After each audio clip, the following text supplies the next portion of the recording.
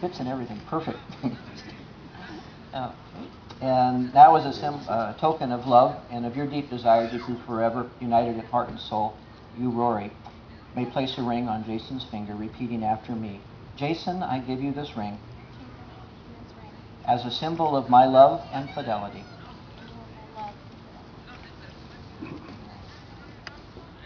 You guys are just doing a perfect job.